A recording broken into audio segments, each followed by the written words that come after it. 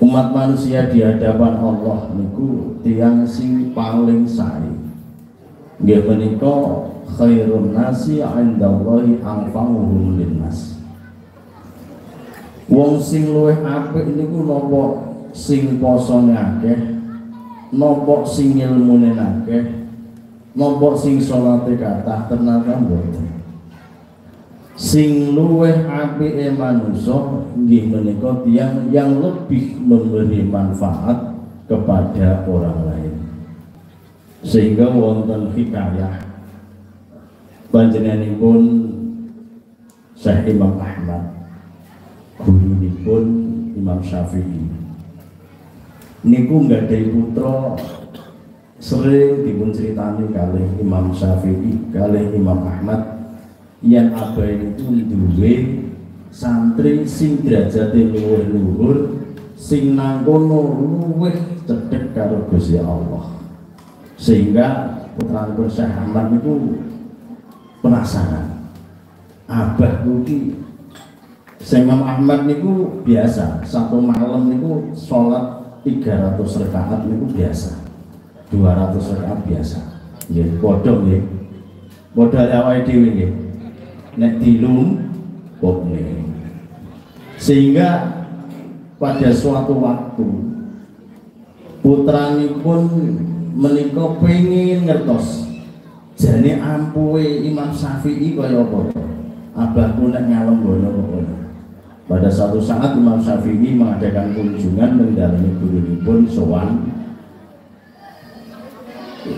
Sak sampunipun dahar. Waktu salat salat misa lajeng panjenenganipun Imam Syafi'i ini kan lebih enom. Diaturi kali guru ini bagus. Sampun santau cekap monggo nek badhe istirahat. Estu. Muhammad bin Idris Asyafi'i seorang gus muda sing didhawuhna luwih ampuh katimbang gurune. Niku akhirnya teng kamar teng kamar mboten wiridan ya ora salat kaya abai kaya dene Syekh Ahmad bin Hamad. Akhirnya putrane niku mincang.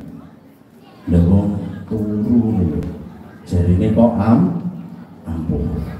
Didelok malih jam sedoso. Dipirsani kali putrane ya panggang turu. Lah iya. Jarine muda ampuh kok turatu kok turatu jam kali welas diinceng malih. Isih tilo malih. Masya Allah. Putranya ini kene. Ya iya. Jadi abah ke ampuh nah ini kok turu es sampai jam 2 sampai menjelang subuh ini biasa. Kayak lakonnya awal itu paling sholat ya witir telung rekaat sholat hajat sholat obat biasa. Amalnya itu biasa. Es ingkar di dalam hatinya putranya Syekh Ahmad bin mbajeng enjing. Abai niku ngaturi dumateng Gus Muhammad Idris Asyafi ini. Pripun Gus wau dalu sarene sekeco napa sekeco.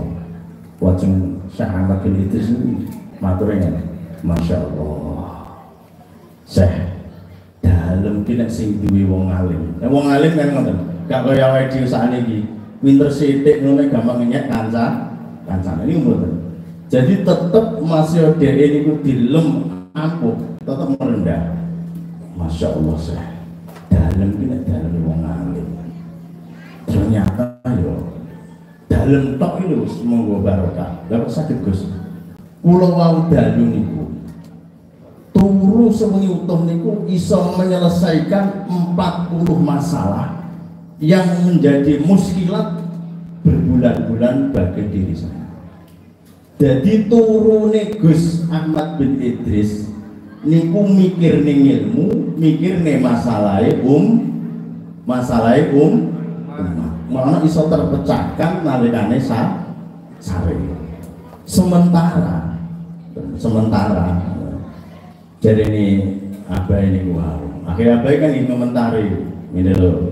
Nah, jadi gue ini nek nilai wong aja mbok delok bathuk iki ireng utawa mbok ireng apa wae oh